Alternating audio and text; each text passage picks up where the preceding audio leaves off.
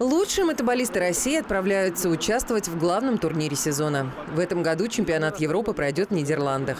Все понимают, что на Западе сегодня существует предвзятое отношение к российским спортсменам и логично ожидают, что чемпионат будет не из простых. Мы помним с вами те моменты, то судейство, которое было на предыдущем чемпионате. Я все-таки надеюсь о том, что мы покажем качественную игру и все эти судейские нюансы, если кто-то нам желает чего-то недоброго, мы преодолеем. В прошлом году для того, чтобы лишить россиян победы, судьи в финале не засчитали нашей сборной три мяча. Поэтому игроки ждут подвоха и сейчас, но верят, что и это можно преодолеть. Я думаю, наш характер, как мы проявим характер, сейчас э, сами видите, во всем мире политическая такая, все против России, все связано. Но если в том году нам не повезло, 4 гола не забили, будем стараться в этом году 6 забить, чтобы чтоб нас ничем не смогли переломить. Верит справедливости новичок сборной Максим Пушкарев. Семь лет он провожал своих старших товарищей на европейское первенство. И вот, наконец, пришло и его время показать себя.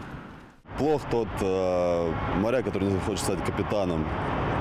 Вот, поэтому, естественно, в мыслях, э, в планах, мечтах все это было. Да, вот смотрел, как э, э, проходили у них сборы, как они готовились, как собирались на чемпионат Европы.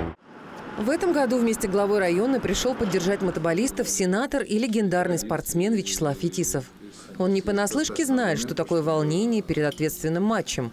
Тем более, когда ты представляешь не только свою команду, но и всю страну. Простой рецепт, наверное, в этой связи. Надо верить, верить в себя, верить в то, что ты уже сделал. Вот. Сомневаться ни в коем случае нельзя ни в чем. В дружеской беседе за чаепитием мотоболисты рассказали олимпийскому чемпиону о своих проблемах.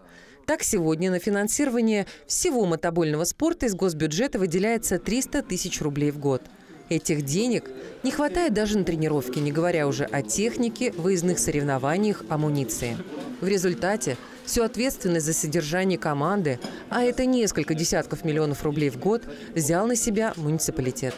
Фетисов обещал продумать решение этого вопроса. Ну а пока все еще раз пожелали удачи спортсменам, которая им очень необходима. Елена Бабина, Владимир Бежонов, Елена Кошелева. Видное ТВ.